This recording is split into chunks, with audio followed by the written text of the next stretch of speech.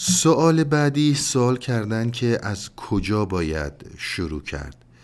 یعنی چطور باید متوجه این شد که رزالت ها چی چی حسادت چی دروغه و محک برای اینها چی هستش؟ خب باز من خدمتون بگم در بحث فکر و در بحث مرگ در تمام شش جلسه فکر و تمام جلسات مرگ ما به این نکته خیلی مفصل پرداختیم. ببینید اینکه از کجا باید شروع کرد؟ در وهله اول صحبت ما با دیدن بود که باید ببینی. اون چیزی رو که ما با ندیدن از دست میدیم صداقت با خوده.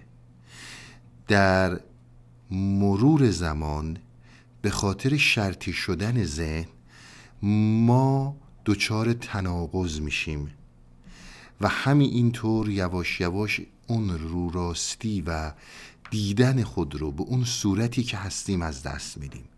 به طور کلی و یک کلمه صداقت با خود از دست میره.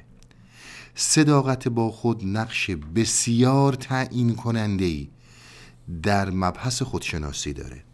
شما باید بتونید خودتون رو ببینید به اون نحوی که هستید.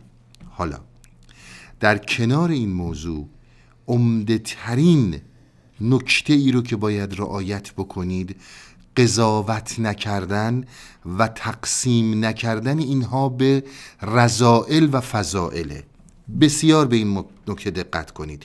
شما برای دیدن قضاوت نکنید. چون به محض اینکه قضاوتش می‌کنید این خودش رو پنهان می‌کنه. عنایت می‌کنید. این از اون راهکارهای مولاناست.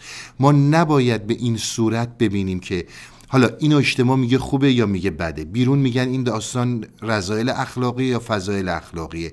برای دیدن در مبحث خودشناسی ما باید بدون اینکه قضاوتش کنیم ببینیمش. بدون اینکه هیچ قضاوتی روش داشته باشیم این میاد یواش یواش رو. یعنی دلیلی نداره خودشو پنهان کنه. دلیلی نداره در لابلای پیچیدگی های درون بره چون قضاوت نمیشه.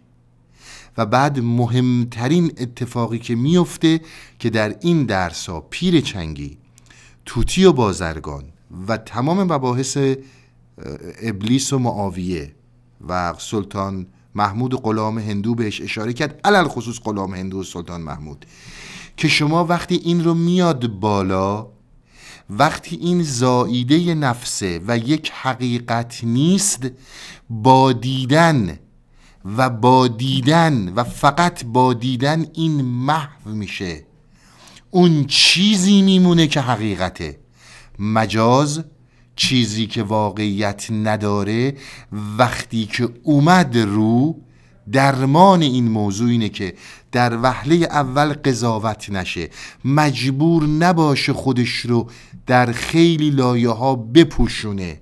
چون بارها گفتیم ذهن بسیار باهوشه. بسیار هوشمندانه با شما عمل می‌کنه. ما بدون هیچ قضاوتی اجازهش بدیم بیاد رو. هیچ وقت نگیم چی رضائل چی فضائله بعد نگاه کنیم. وقتی که واقعیت نداره ذات انسان نیست.